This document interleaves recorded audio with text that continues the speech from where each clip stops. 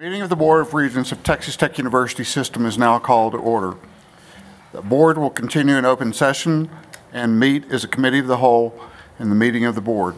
And please note, Regent Kerrick Davis is participating online.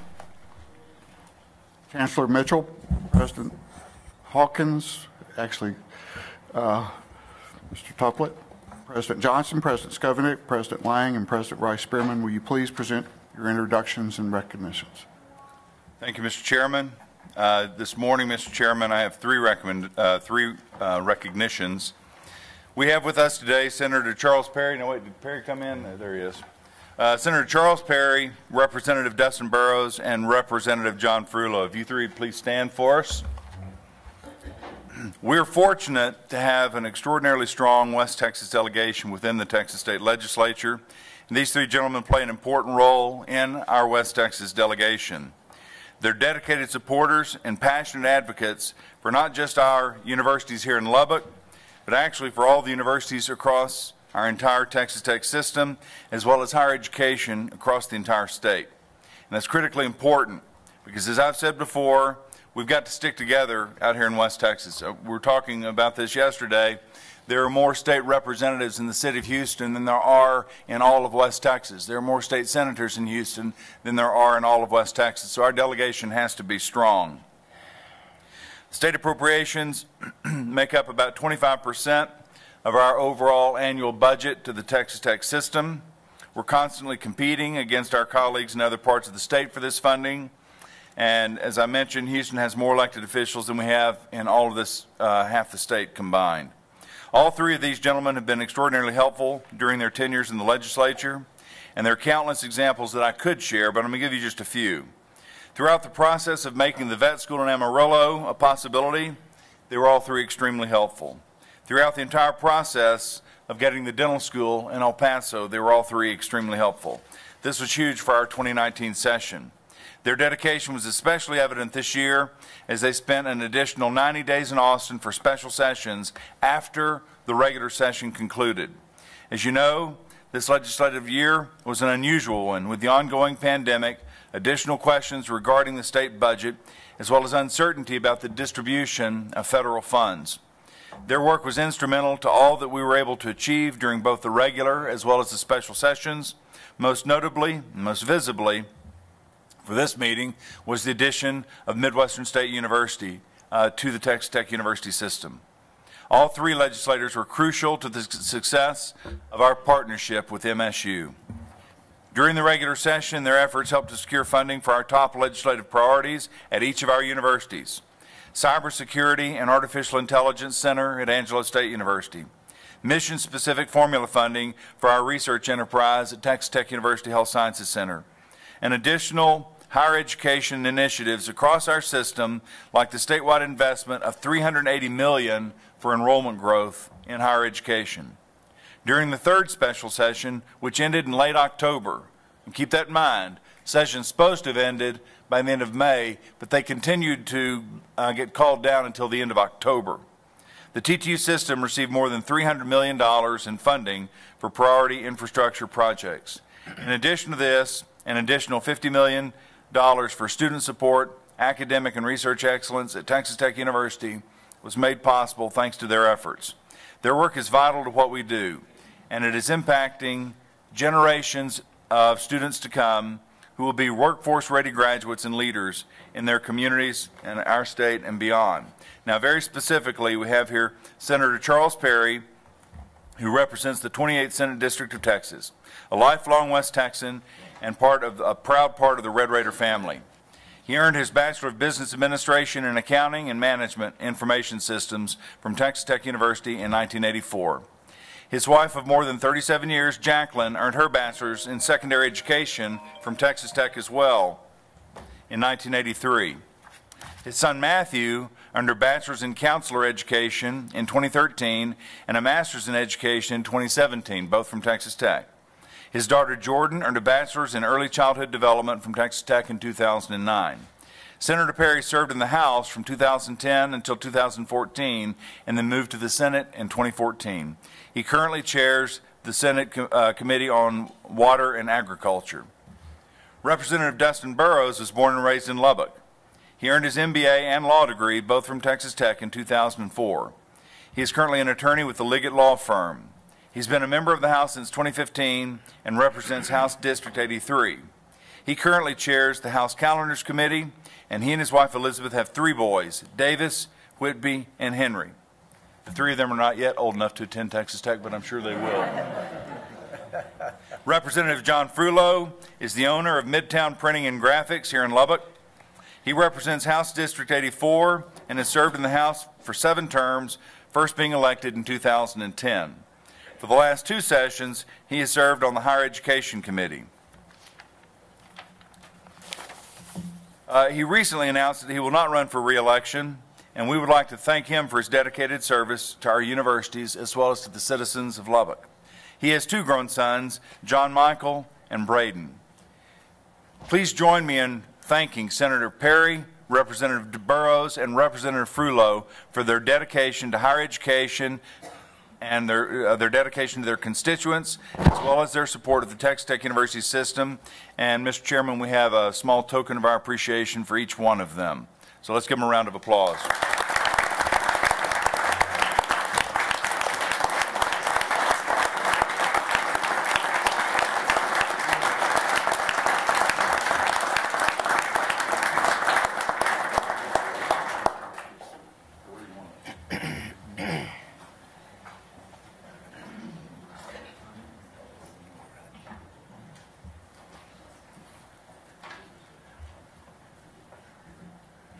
Let me know if I'm crowded.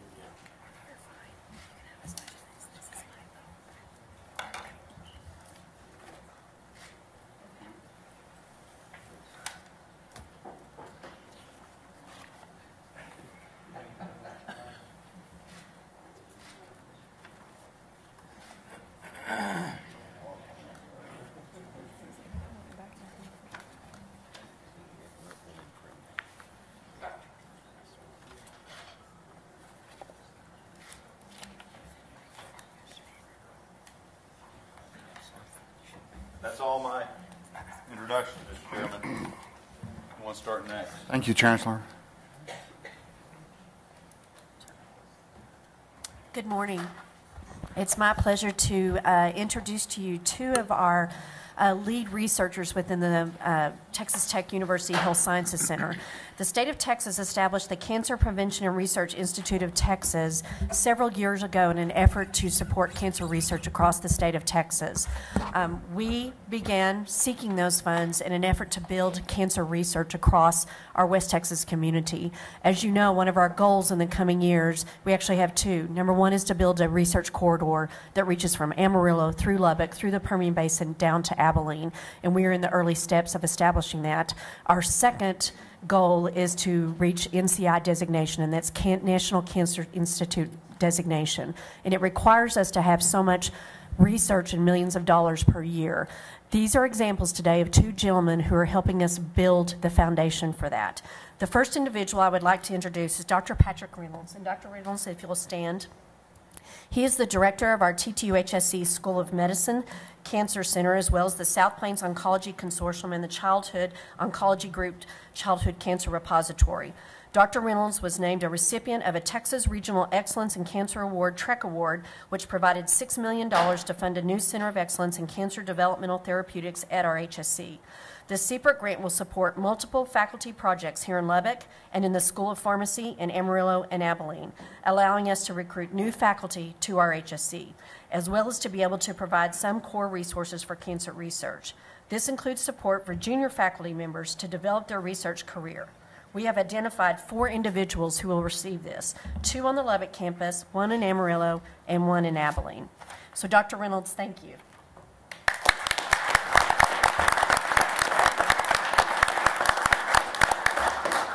Our second individual that we'll be highlighting today is Dr. Trey Putman. Trey is a professor of pharmacy practice and pharmaceutical sciences for the HSC Jerry H. Hodge School of Pharmacy that is located in Amarillo.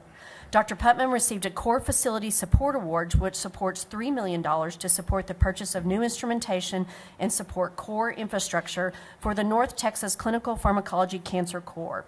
The support provided by CPRIT will allow this core to be better positioned to facilitate translational oncology research by purchasing updated and state-of-the-art mass spectrometers. There are two uh, instruments that he will be purchasing. This is part of a collaboration that Dr. Putman has put together with UT Southwestern. We are co-located across the street from each other on our Dallas campus. Trey is located on that Dallas campus and has established a group of, group of researchers there that work collaboratively with UT Southwestern. Please join me in recognizing both of these individuals. I think this is an example of how when we collaborate, we are able to innovate, transform healthcare, and really raise the stature of the Health Sciences Center in the area of research. Thank you very much.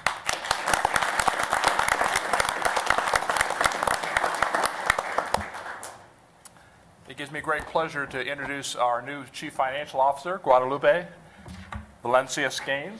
Guadalupe. She goes by Lupe. Uh, this is a result of a national search, uh, and I'm happy to report that I actually stole her from UTEP where she was actually the Associate Vice President for Business Affairs. But uh, to give you an idea of, of, the trek that she took to get here, she has both her BBA and MBA. She's a certified government financial manager, has over 20 years of experience in academic centers and in finance, uh, having served not only at UTEP previously, but also at the University of Alaska, University of Arizona, uh, and University of Washington as well. I, uh, I, won't go through all of her accolades, but uh, what I will say, you can read stuff off paper, but it's really about her leadership. Um, she uh, buys in, understands our values-based culture of service, teamwork, advancement, accountability, respect, and integrity. She has a reputation for building teams and investing in others and having a tremendous amount of integrity. Um, she's on the president track for WACUBO. That's the Western Association of College and University Business Officers Annual Conference. Um, and I must say, uh, when you look around the entire system, I want you to think about the talent of all the CFOs at every single institution. By the way, they all happen to be women, by the way. And you're going to have something pretty unique because while she be serving as president of WACUBO and in the national organization, Noel, aren't you? Yeah, SACUBO. So we're going to have two people from the Texas Tech system serving at the national organization leadership at exactly the same time. So uh, besides telling her she'd work with the best president in the system, uh, telling Lupe that she'd be working with these talented group of CFOs across the system uh, and with Gary Barnes as well really made a difference. So I want to introduce you guys to Lupe.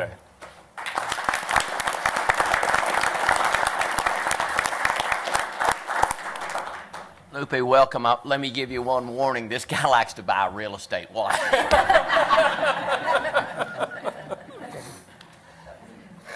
Mr. Chairman, I have a number of introductions this morning. And uh, first, I'd like to, um, can we show the photograph, uh, the picture of Dr. Uh, Kiesling? Uh, before you, you see a picture of Ernst Kiesling, who recently passed away. Uh, but we're joined today by his wife, Nita, and granddaughter, Christiana. Would you, could you please stand? Um, Dr. Kiesling is, was an amazing man. He uh, came to Tech in 1969 and um, retired in 2018. Um, during his more than 50 years at Texas Tech, he helped create the Institute for Disaster Research in response to the tornado that hit Lubbock in 1970. That later became known as the National Wind Institute, and today is one of the most uh, recognized centers for studying mitigation of storm damage in the United States, if not the world. Um, from observing a tornado in Burnett, Texas in 1972, he got the idea to build above ground shelters to protect people from wind related damage during a tornado. And in 2001, he established the National Storm Shelter Association, serving as its director uh, until 2018. His work earned him the nickname Father of the Safe Room. Um, and he died this past October. um,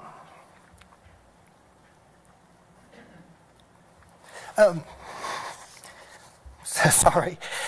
Went, when I went to his funeral, I, I told Grace Hernandez, I want you to go with me because um, no words can convey what an incredible person he was.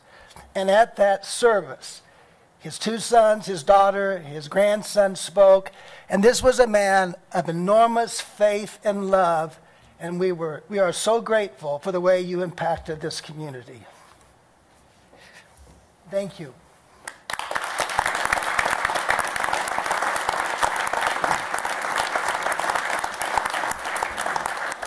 Mr. Chairman, one of the things that I think a lot of folks don't realize is Dr. Kiesling had actually worked with, was it Ted Fujita?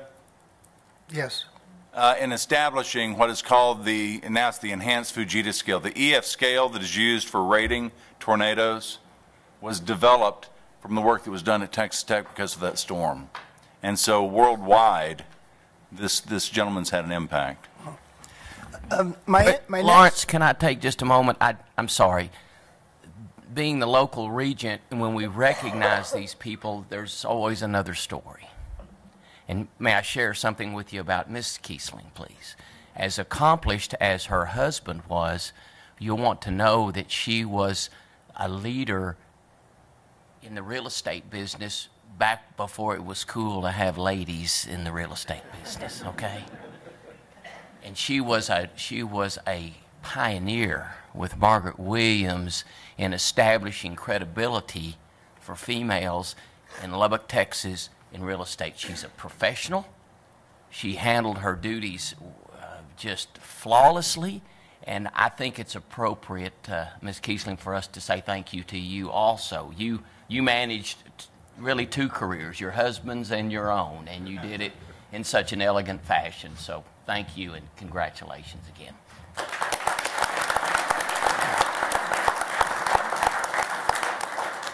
Uh, the next person I have the pleasure of introducing is somebody you probably never heard of, Coach Joey McGuire, who is here today. And I, if, if you knew uh, how many directions this man is being pulled in, I think it says a lot that he is here to, to spend some time with us. He's one of the most recognizable coaches in the state of Texas. Uh, he was a 2020 inductee into the Texas High School Coaches Association Hall of Fame. He won three state championships during his career at Cedar Hill High School. Prior to him going there, they had never won a playoff game. And in 14 years, he took them to 12 consecutive playoff appearances. After that run, he was hired at Baylor to coach tight ends and was eventually promoted to associate head coach in 2019. He is widely considered not only a great coach, but also a great communicator, and he is all about relationships and people. Uh, he and his wife Debbie have two children. His daughter Reagan graduated from Texas Tech in 2018, and she now lives in New York City. And uh, as Coach says, she is a rock star, as is his son Garrett, who's a member of the Carolina Panthers coaching staff. And Coach, could you please come and just make a few comments, uh, if you would? Raider!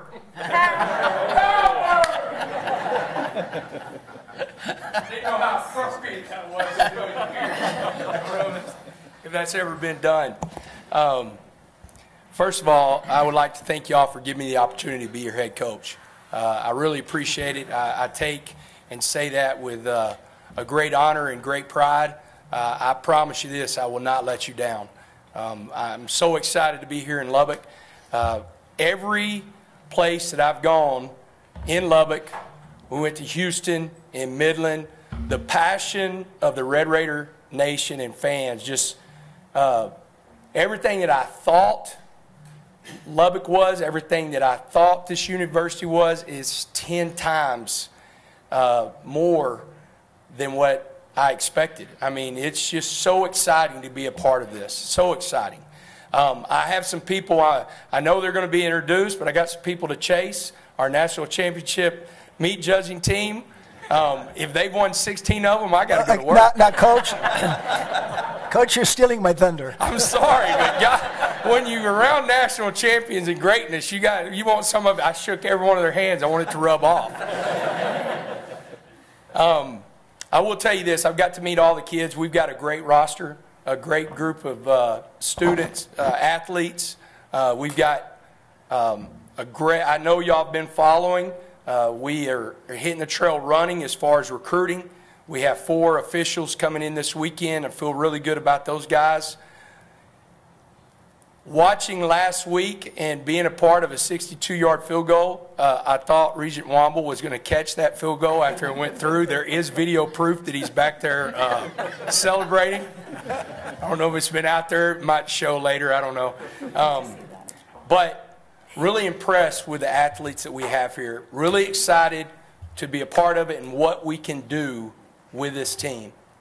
I will tell you this, you're going to get a guy that's going to pour into these guys. I believe in relationships. I be, believe in loving our students. And uh, I met with a couple guys that they don't have eligibility left, and they were like, well, coach, I'm not playing next year. And I said, well, here's the deal. You're a Red Raider. I want to make sure you know that you're a Red Raider for life and that you take great pride in what we're about to do here in Lubbock.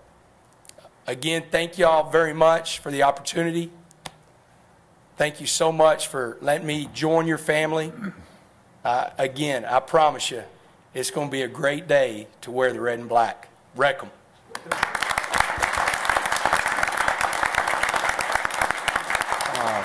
Dr.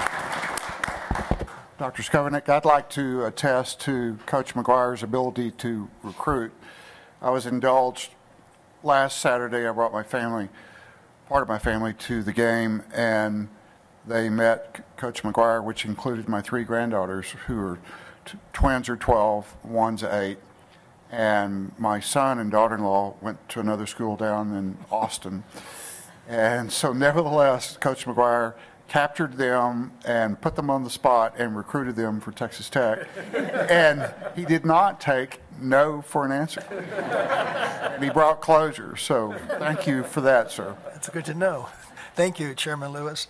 Next, I'd like to introduce Eileen Janotis. Eileen uh, has come to Texas Tech as the Senior Director of Communications in our Central Communication and Marketing Office, but she will primarily be focused uh, her efforts in the Office of the Provost. In this role, she will plan and coordinate communications and marketing strategies for the Office of the Provost, including internal communications and enhanced um, communications with the deans and our network of communications around the campus. Eileen joins us from Michigan State University, where she oversaw the communications effort in the College of Agriculture and Natural Resources, and there she worked very closely with our new provost, who came from Michigan State, Ron Hendrick. Eileen, welcome to Texas Tech and Lubbock.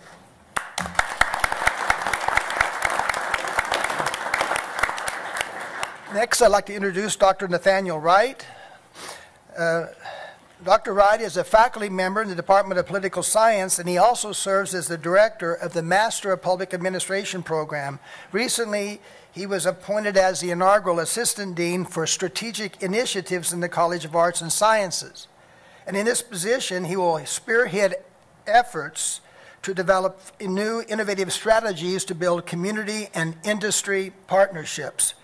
He is an expert in community relations and engagement and he will lead the development of arts and sciences sponsor programs to better serve our students there through engaged community outreach and opportunities. Nate, thank you for being here today.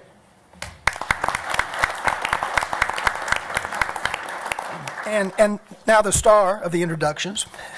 Um, so I'm very pleased uh, to recognize our most recent group of national champions, the 2021 meat judging team. Uh, could you all stand, please? Um, this is the 16th national title they have won. Uh, they have won three in a row, and only one other institution won three in a row, and guess who that was? Texas Tech. and um, th these are amazing students. After the game the other night, I went over to the arena, and, and every, there was a large crowd there waiting to welcome these students. Um, there's a tremendous sense of pride and family feeling in that program, uh, and it's a tribute to many people who have supported them. Um, we had three team members, Cassie, Preston, and Caleb, who were selected as All-Americans. Would you please raise your hands? Thank you. Uh, and um, over the program, the, the, over the years, this has become the most recognized program in the United States. A lot of that credit goes to Dr. Mark Miller, Connor McKenzie and Taylor Schertz, who coach these students. And, um, and so we just want to say again, it never gets old We're so proud of you. Congratulations.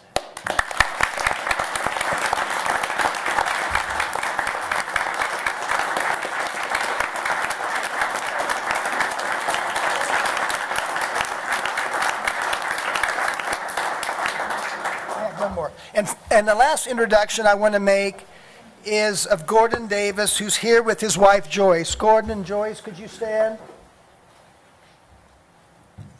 Probably nobody uh, is more responsible for the meat uh, judging program than Gordon Davis, who began those efforts many years ago. Um, he, he was a member of the Texas Tech faculty, having coming, I think, here from Tennessee. And he was the coach of our first meat judging national championship team in 1981. And you ought to visit with Gordon someday to, get a better understanding of where they began on that path to becoming a national championship team. He is the founder and chairman of the CEV Multimedia, a company he built into a leading online technical education platform. Um, at that event the other night, uh, you could just see how much these students value Gordon's relationship. I think they all think of him as a grandfather, um, and there's a. they call him Gordo. Thank you, Gordon and Joyce, for all the support you provided to the meat judging program, meat science and meat judging program.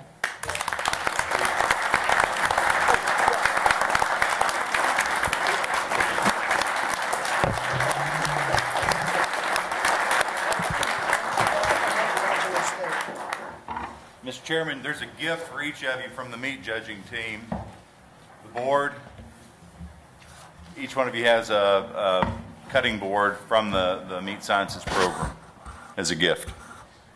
Thank you. Oh, yeah, and by the way, uh, where's Christina Butts? Tell them about ASU. So Angelo State, they have a really competitive meat science program as well, and they placed fifth at the national competition, which was really great. Uh, Texas A&M came in fourth, and then Kansas State was third, or second, second was third. West Texas A&M was third, and then uh, Kansas State is second. The great thing is, is that top five, all those coaches except for right now at College Station are all Texas Tech alums from this meat science program. So Texas Tech is beating Texas Tech.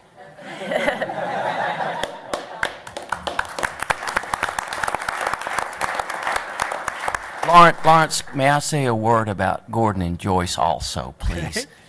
Their engagement with Texas Tech is, is without question and unconditional.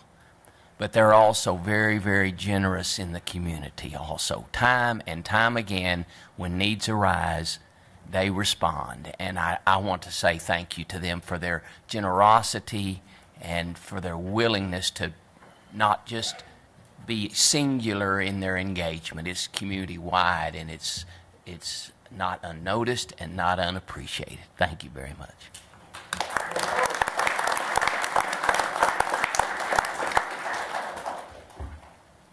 And that concludes my introductions, Mr. Chairman. Thank you, Dr. Schovanec. Thank you, Mr. Chairman. I have uh, one I would like to recognize. Uh, Dr. Charles Chuck Baltina is Associate Professor of Management in the Dillard College of Business Administration. Dr. Baltina was recently named one of the 2021 Piper Award winners. This award is only given to 10 professors in the state of Texas each year, and it is the premier teaching accolade in Texas higher education in recognition of a faculty's dedication and superior instruction at the collegiate level. In honor of this award, the Senate of the State of Texas 87th Legislature presented Dr. Baltina with a resolution of congratulations, and Senator Drew Springer presented him with a Texas flag that was flown at the state capitol. Dr. Baltina is an MSU Texas alum and exemplifies the values of MSU Texas in putting the needs and the learning of our students first. So he could not be here with us today, but congratulations, Chuck, and thank you for all you do for our students.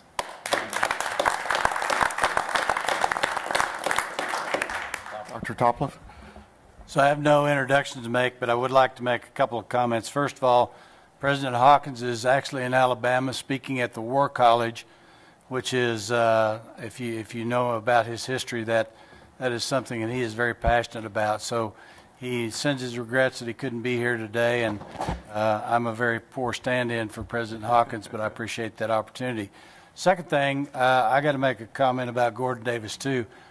Uh, I've known Gordon Davis for probably longer than either one of us want to admit, but uh, I actually did some videos for CEV back when I was actually on the faculty at Oklahoma State. So uh, Gordon has been has made a, a tremendous impact in, in the ag industry and and uh, beyond, and uh, so I really appreciate uh, him being honored here today. That's all I have. Thank you. Thank you, sir. The board will continue in open session and meet as a committee of the whole and meeting of the board. Is there a motion to approve the minutes of the board meeting held August 5 through 6, 2021, and September 1, 2021? So moved. Second. All those in favor? Aye. Opposed? Motion passes. We will now consider items as a committee of the whole, and I would like to ask the vice chairman to preside over the committee of the whole. Mr. Griffin.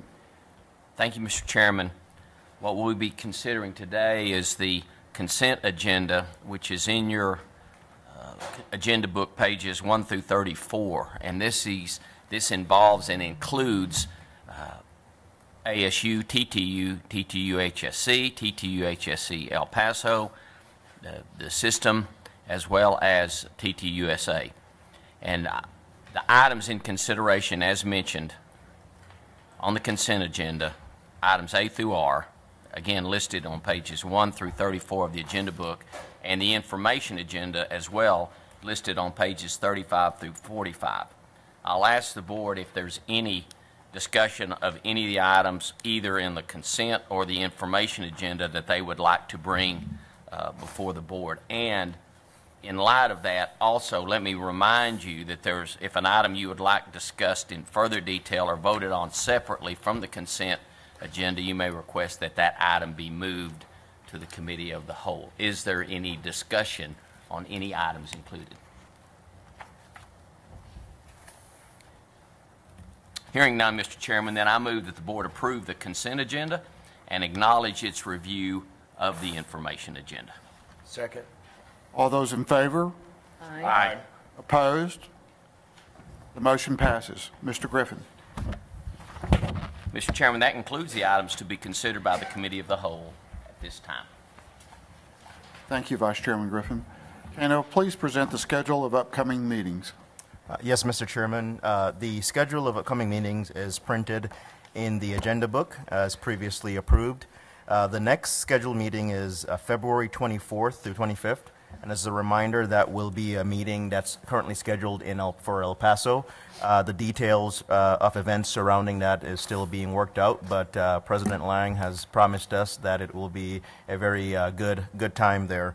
Uh, The next meeting, May 5th through 6th, uh, here in Lubbock, 2022, followed by the August 11th and 12th board meeting scheduled for San Angelo, and uh, wrapping up with November 17th and 18th back here in Lubbock. So just to note, this will be the first full year where we'll be adopting the four regular schedule format for our board meetings. Thank you, Mr. Secretary. Next, we'll hear from the student government presidents. Kristen Kilpatrick, please present the SGA report for Angelo State University.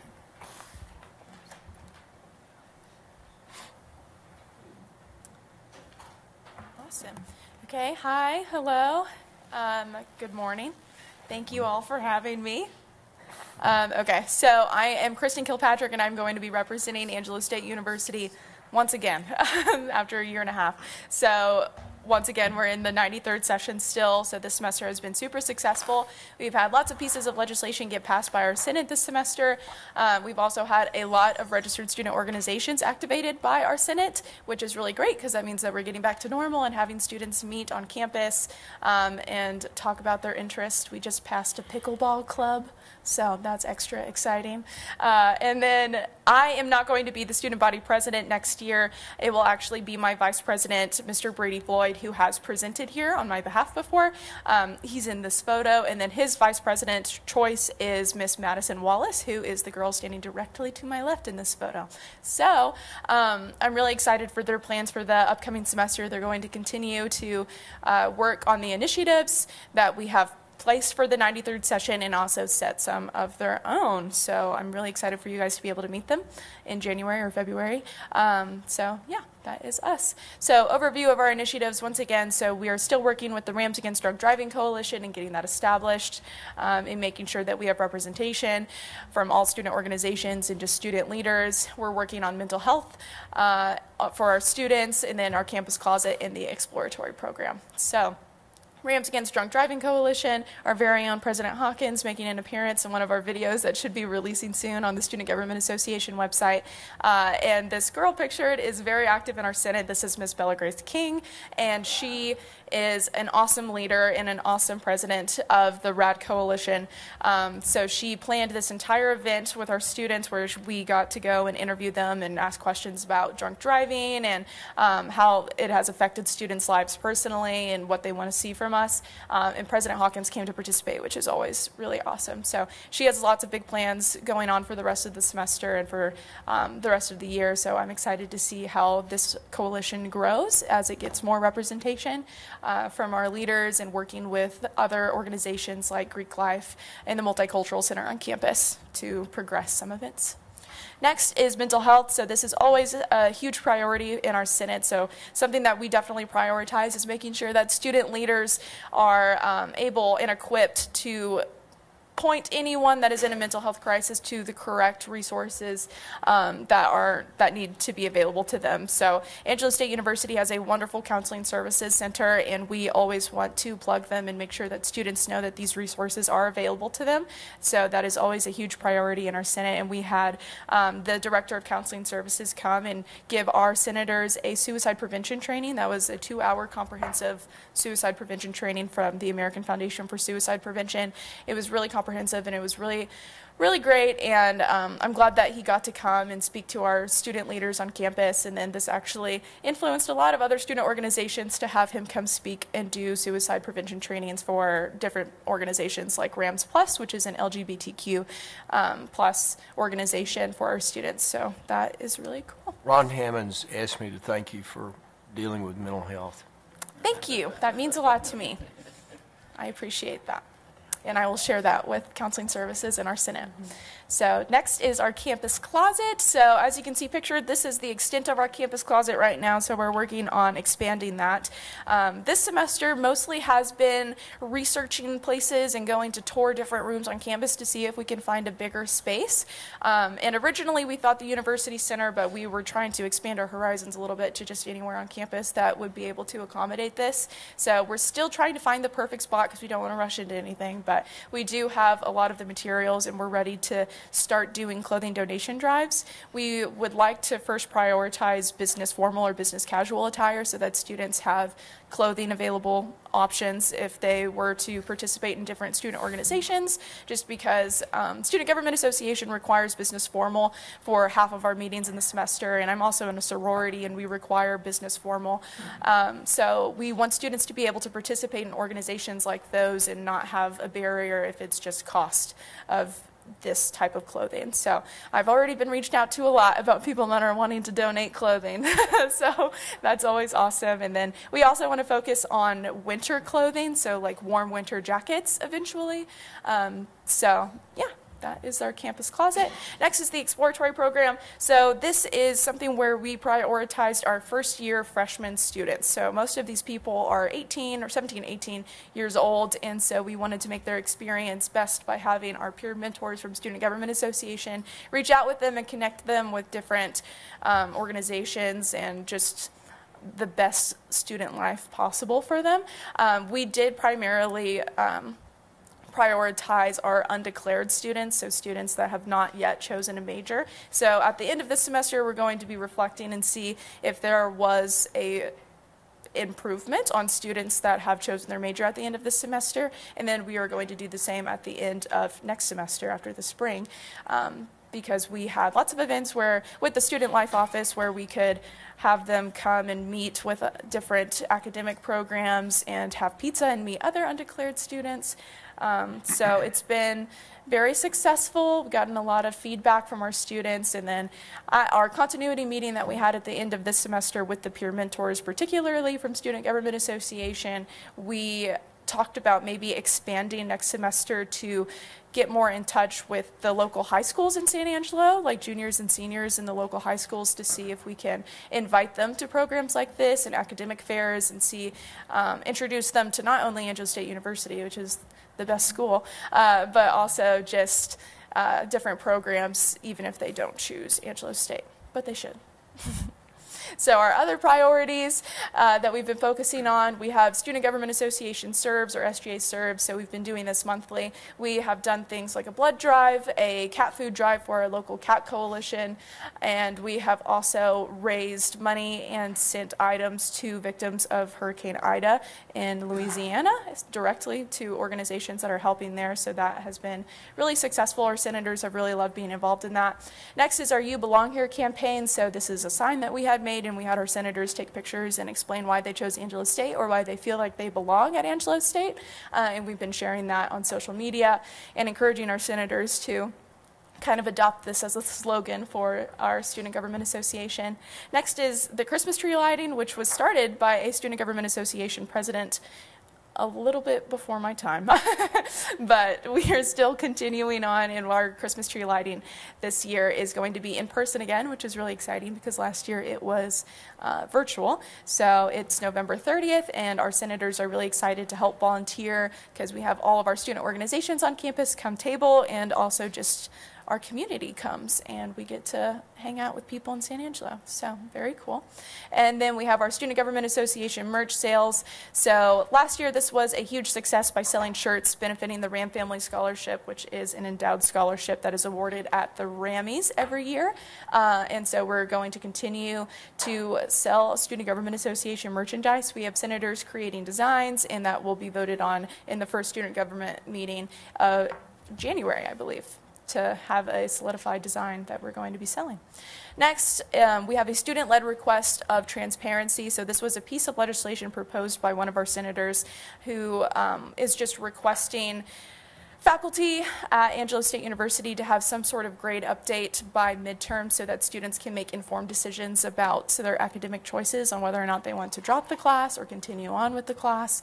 Um, and so we've been working with our faculty senate and different faculty members um, to kind of get the ball rolling on this and see what we can do and what everyone else is comfortable with. So hopefully there will be an update with that next semester because it's been a lot of meetings. Can I make a comment? Yeah, of course. Okay, so I got to be there the day that they started this midterm thing, and um, it was just phenomenal to watch the students sit there and be like, okay, this word left we left out blackboard. We need to make sure it's very specific so that when we present it to the professors and the staff that we really are asking for what we want and not just some basic like, well, we want grades posted. So it was really awesome to watch them go through that process and like really think about what they were asking for and how they were going to present it and how the professors would take it and how the professors would be able to actually fulfill their request. So wonderful work on that. Thank you. And finally, we have revising the election commission document. So this is a pretty lengthy document that a lot of people don't like to read unless they're running for president or vice president. Uh, but some of the information is a little outdated for um, how best our election process could run. So we had our rules of the Senate committee go through and revise this election commission document. And then we have just recently set the election commission for next year. So in May, we will have a new student body president for the 94th session. So as you can see here, here's the sign I was talking about that says you belong here. And we these are just some of our fun events that we've gotten to do with admissions and homecoming with Angelo Serves. We our senators got to volunteer at the Girl Scout office and the Boy Scout office of Central Texas, which is always super cool. And then we have our um, I forgot what I was going to say. we have our uh, Night walk. Yes, I forgot the word night, which is embarrassing. But uh, so we go through the campus with our student services committee and we go look at the light fixtures and we make sure that the all of the light fixtures are working, or if it, there's like a particularly dark place on campus, we go and make requests uh, so that our campus is well lit at night for students.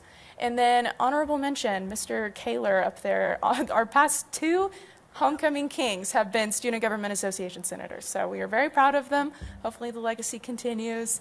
Um, and yeah, there's Mr. Brady Floyd, who's going to be our student body president next year. Uh, I just wanted to thank you all for your time and listening to me, to me, today and for the past year and a half. It's been an honor being able to come to uh, Texas Tech in Lubbock to present all of Angelo State University's uh, Student Government Association priorities and initiatives. Um, I'm sad that I'm graduating in 20 days, but I'm also excited, and I just wanted to thank you all for the opportunity to come speak with you. And I'm excited to be joining Texas Tech with my Master of Public Administration soon. So, yeah, thank you all.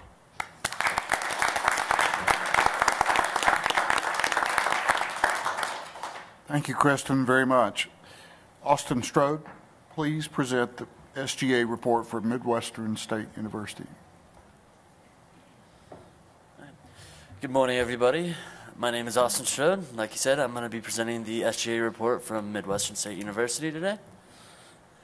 So, a little bit about us as student government. You have me, the president.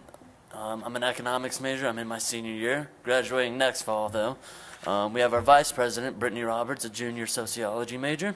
Our secretary, Gabriella, a junior economics major. We have 12 cabinet members, 8 class senators, 50 student organizations registered, and then 8 standing committees, and we have bi-monthly Senate meetings. So some of the projects that we've worked on have been the Women's Health Project. This is a pilot program set up in our student center to provide easy access to emergency feminine projects or products for women. We have our clothing bins donation, which was set up by our predecessors, and we took that and ran with it. We set up clothing bin donations around campus near our library and one of our dorms to help uh, support a local teen emergency shelter. We have non-traditional study nights, which actually started last night, and I'm eager to hear how it went. Um, these are just helping non-traditional students get some time, whether they have kids or other problems, to just take some time and study with other non-traditional students and make friends on campus. We partnered with our Women's Stand Council and the Wichita Falls Museum of Art at MSU. And then we also, this semester, did our QEP topic selection and implementation. Um, this is just student feedback to help uh, improve MSU in certain ways. So some of our um, other initiatives have been community communication and outreach efforts. Um, one of the big ones that we did that we started back in the summer was rebranding all of our social media. Gabriella, our secretary, actually came on initially as our publicity chair, and once she got the secretary position, she took it and ran with it and improved our publicity by that much more. We've done Takeover Tuesdays, which have not been my favorite when I've gotten to go. I'm not big on the uh, spotlight.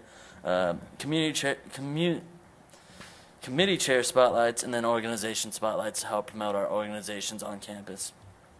We're also doing outreach programs towards organizations that aren't involved in SGA, uh, different clubs and organizations that could benefit. And then we also had the uh, President's Picnic with Dr. Johnson. That was just a fun time that we helped sponsor to bring MSU together. So, a little bit about MSU. Want to bring our culture with you. Um, we had our homecoming the week of October 25th through 30th. That included a lip sync competition. We had a picnic. Uh, we celebrated our mascot's 15th birthday. We had a Halloween party, a fish fry, a cardboard boat race, bonfire, and our homecoming court. And I have to pick on some of the members from my fraternity. Uh, the gentleman in the white shirt that's being dropped, um, I told him specifically that I was going to include him in this pr presentation. So, yeah. All right. And then one of the last things that we, uh, or one of the few things that we did this semester was a values journey. I think most of, if not all the other institutions or schools in the Texas Tech system have done this, and I just want to present upon these here at the board meeting. We had people-centered, integrity, visionary, community, and connections. And being a part of this values journey, getting to go to the summit, participating in the town halls, has been a really good experience. And I think it's really going to help shape MSU for the next years as we go along. Thank you very much. Are there any questions? Chairman, may I make a comment? Austin has done a great job um, spearheading and informing the students of what it means for MSU to come into the tech system. I know when I first met him, he was like, I asked him, I said, how do the students feel? And he said, we're kind of concerned. What does this mean? And they were scared that they were going to lose their traditions. And Austin has done a great job of like asking and understanding what's going on and what this means for MSU and Texas Tech, and then sharing that with his students and making them feel welcome to the tech system. He also got to participate in the values journey and is on the presidential search. So he's done a great job just leading MSU this year, especially with um, the transition into the system and with the new president. So thank you, Austin. Thank you, Keegan.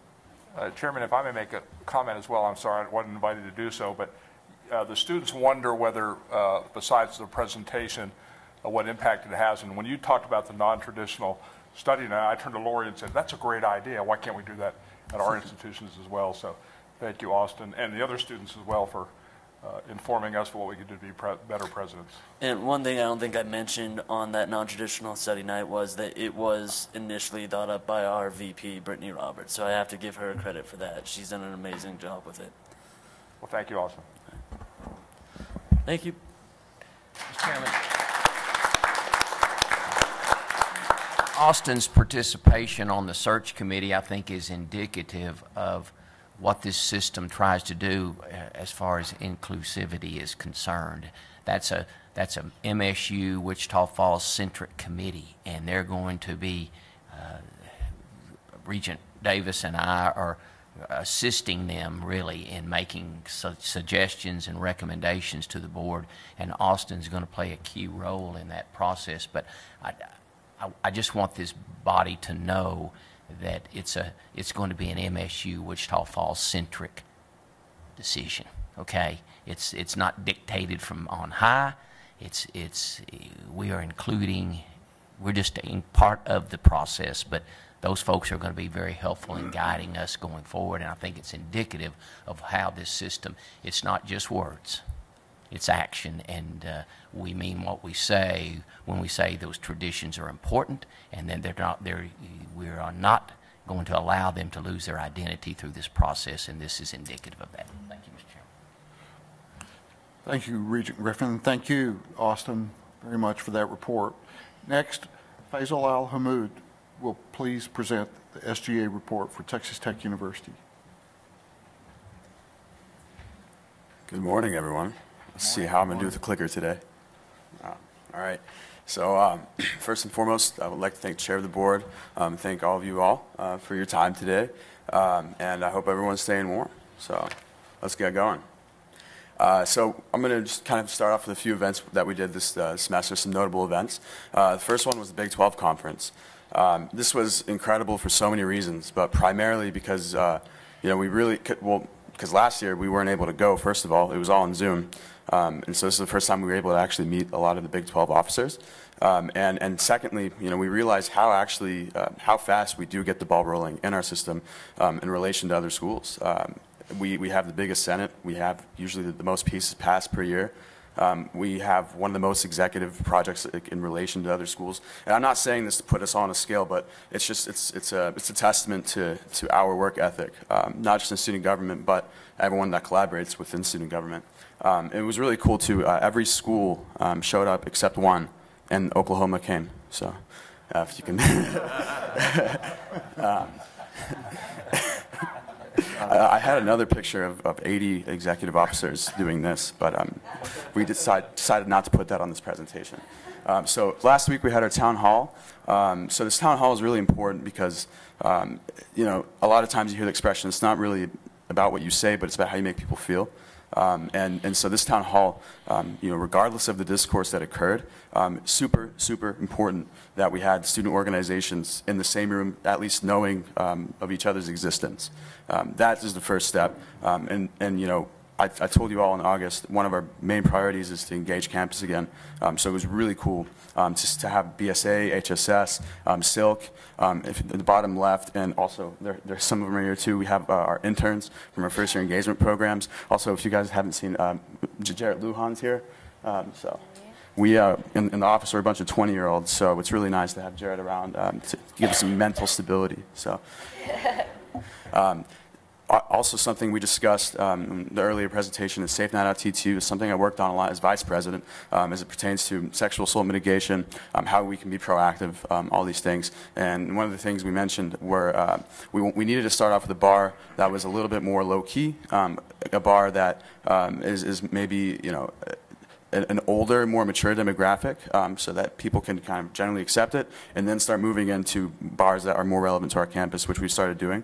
So on November 9th, we had our, our first public event where we were training bouncers um, for the Safe Night Out T2 program. Now the next step is to contact some of the more um, closer bars, so like crickets, Chimy's.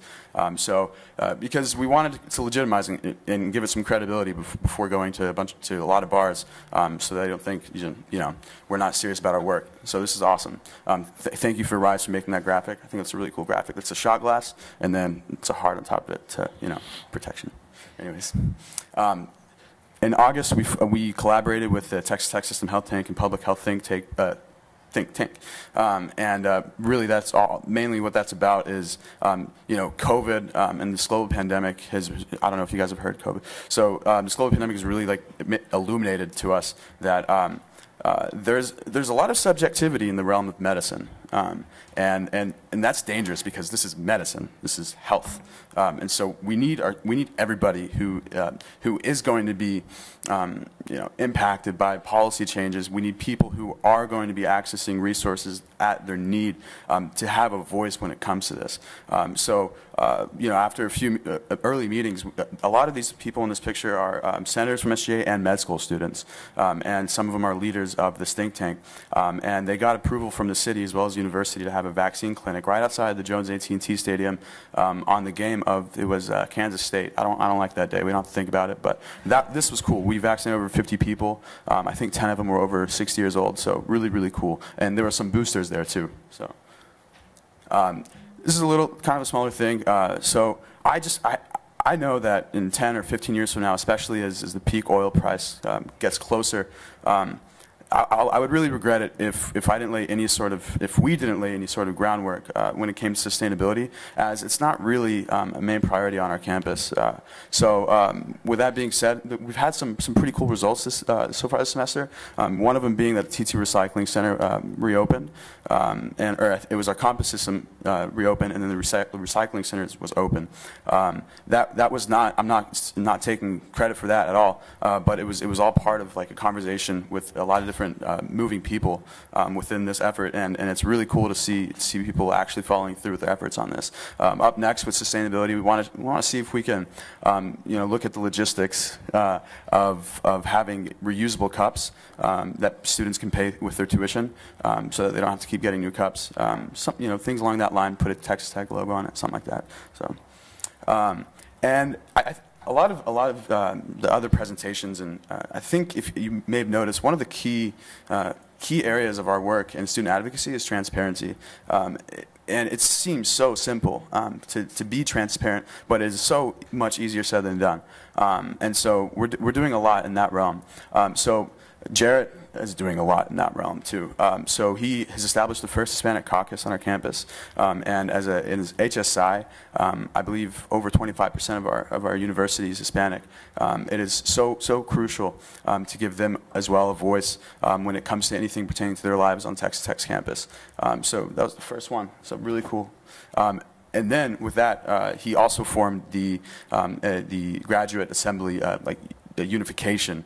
Um, so a big problem with the graduate students and as well as our undergraduate students is there's so many different moving parts, moving factions within campus, so many different groups, different people, different styles of life, um, and, and it's really hard to have cohesive conversation.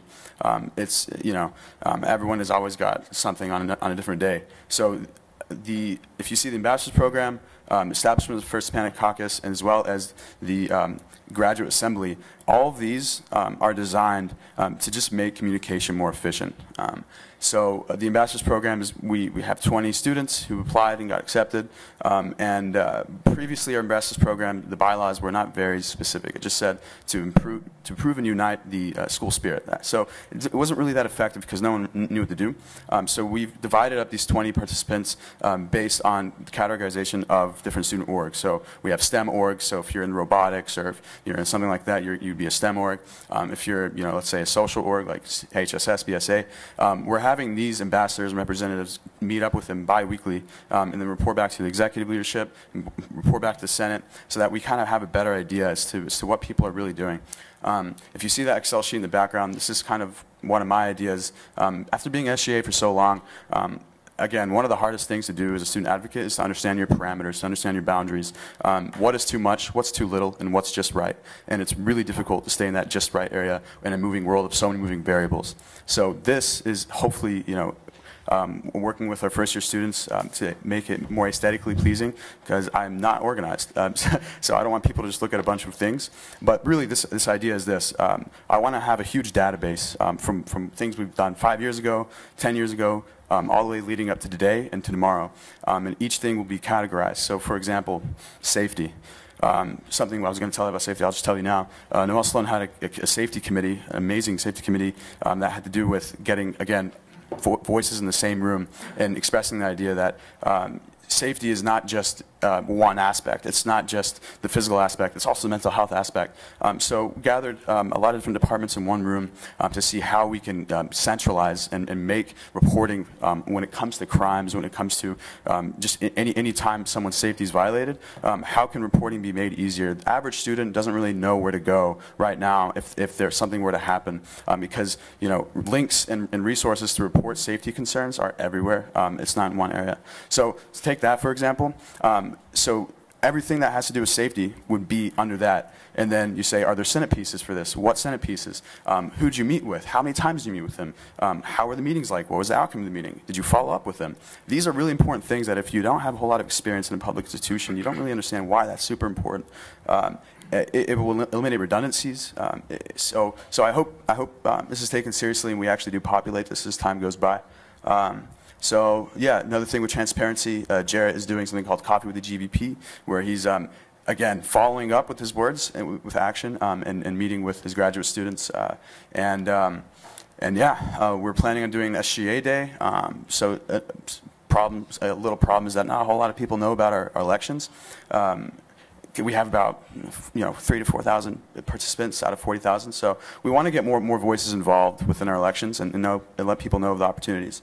Um, and then lastly, we're we're in the midst of forming a SGA alumni organization. Um, so this the reason for this is um, we. We have so many amazing individuals who, who were in SGA who graduated um, that no one knows anymore, and they're, and they're, and they're their experience is lost as an SGA leader. Um, small little example, the student body president a few years ago, um, I don't know if y'all remember Ben Sharp, um, he just graduated from Duke Law School. Um, and I'm trying to go to law school. Um, and, and I didn't know that he went to Duke until like last week. I mean, how helpful would it have been for me to talk to him at, you know, you know stake my LSAT, all that stuff. So uh, this is kind of the same opportunity that everyone else in SGA, within SGA should have. Because we all have su such a common denominator in, in ambition and passion. So um, sorry for taking so much of your time once again. Uh, but if anyone has any, doesn't have any questions, then that is, wraps up my uh, presentation. So thank you.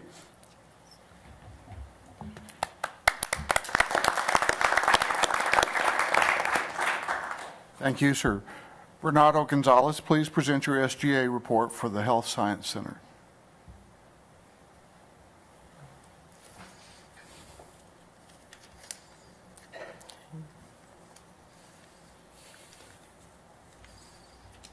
All right, well, well, good morning, everyone, and happy Friday. It's, it's great getting to see all of you again and having the opportunity to share with you all some of the things that our Student Government Association at the Health Sciences Center has been up to. Um, my name is Bernardo Gonzalez.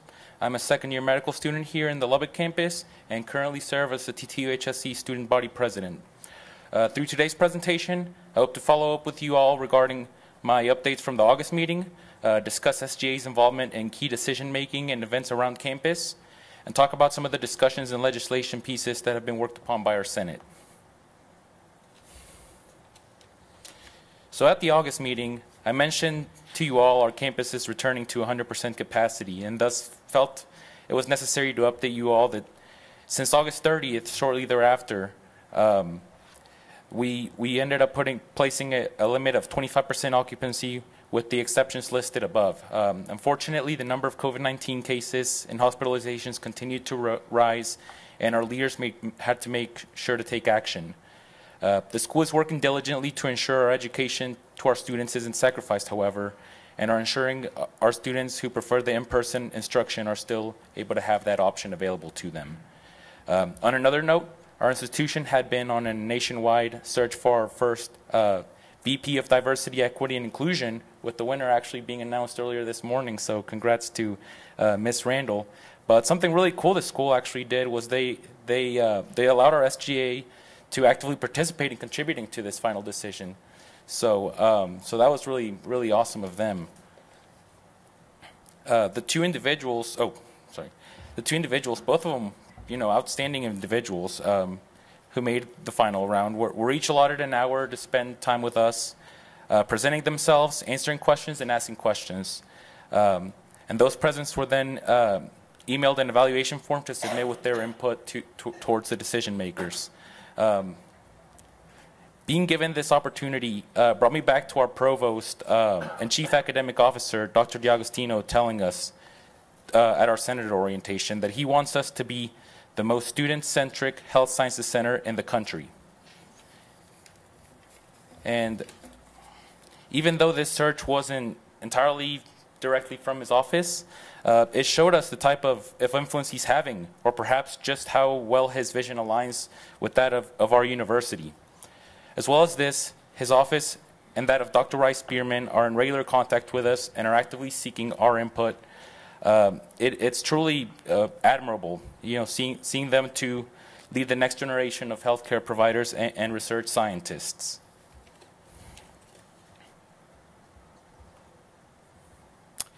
Earlier this month, we had our annual Interprofessional Education Symposium, where students from all our campuses offered a TTUHSC. Uh, all, all, of our campuses heard from, from our speaker, Dr. Okalami. Um, in the interest of time, I won't go into much of his talk, but I highly encourage you all to listen to his TED Talks or read his story if you haven't. Um, afterwards, there was several discussion and problem-solving activities that were actually facilitated in large part by our Senate. Um, earlier that week, we had the event coordinator come in and speak as our, our as our guest. Uh, she promoted the event, um, introduced, introduced us to his mission, invited, and, and eventually invited us to serve as group facilitators. We ended up having a great turnout there from our Senate and helped the event go, go smoothly.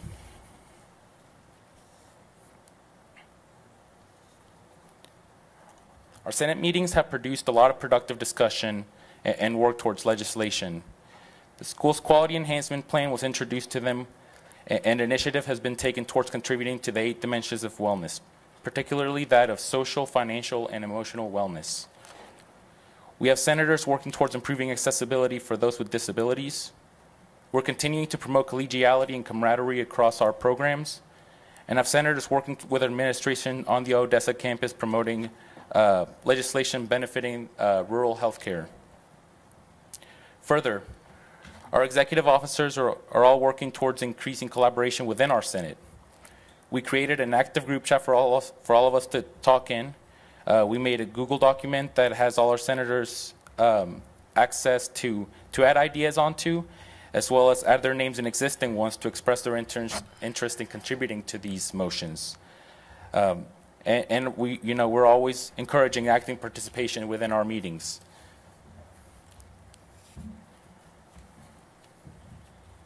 Uh, believe that concludes my presentation, but I'd love to uh, take the time to answer any questions, comments, or concerns.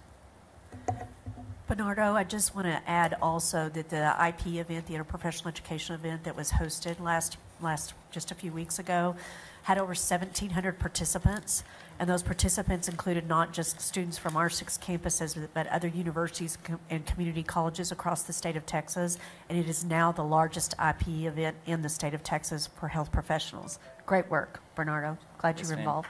Thank you.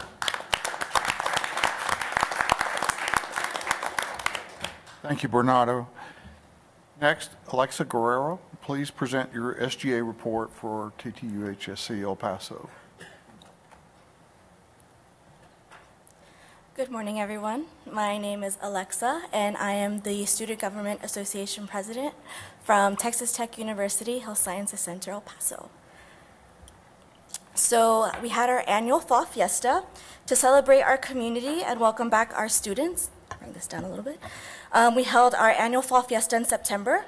One of our main goals this year was to find new ways to support other student organizations so during this event, we gave student organizations the opportunity to fundraise and to increase their student engagement and also put a little more money in their pockets.